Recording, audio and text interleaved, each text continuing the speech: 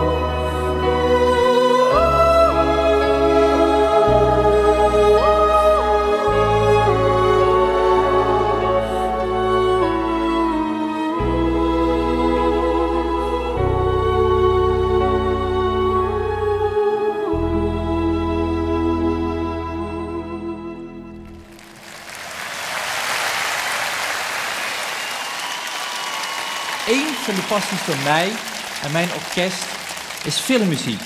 Zoals bijvoorbeeld de muziek van Ennio Morricone. Luister maar.